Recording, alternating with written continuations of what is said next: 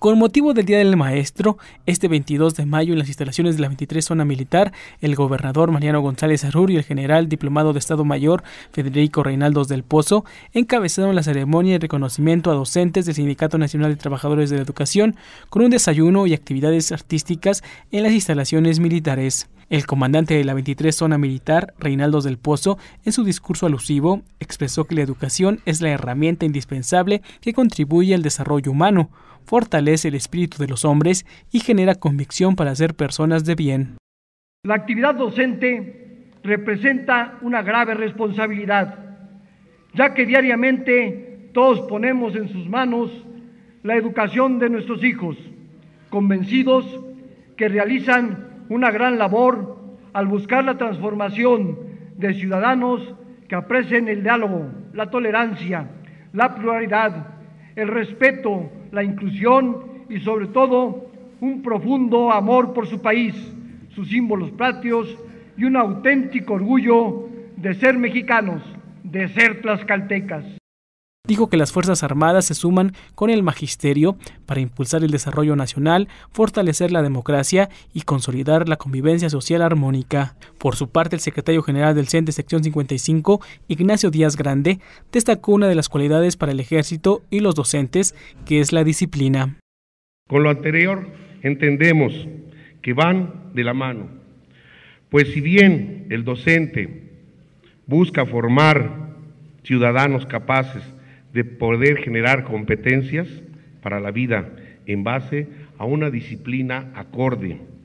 En el caso del ejército, se rinde el objetivo de tener en sus filas a,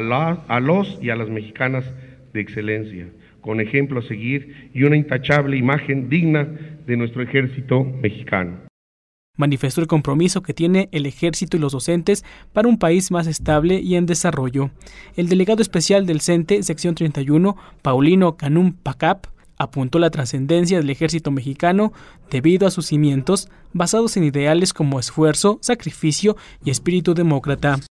Es de gran importancia que el ejército y el magisterio mantengamos vínculos fuertes, sólidos, como testimonio para la población de que tenemos la vocación y el compromiso de servicio a nuestra patria. Al igual que ustedes, también entregamos múltiples, enfrentamos múltiples adversidades, como la ingratitud, la desvaloración e incluso la detracción hacia nuestro trabajo y hacia nuestra tarea. El ejército, al igual que el magisterio mexicano, ha sido protagonista de cambios sustanciales en la vida de la nación. Hemos sido agentes de cambio social, hemos reconstruido la nación y tenemos el interés supremo de salir adelante y vigentes con el enorme compromiso de servir a México. Por último, señaló los convenios de colaboración con el ejército mexicano, abanderamiento de escoltas, así como el apoyo en mantenimiento y mejoramiento de las instituciones educativas. El gobernador del estado, Mariano González Arur, degustó junto con autoridades estatales y federales de un desayuno acompañado de una gama de presentaciones culturales. Leonel López, Sistema de Noticias.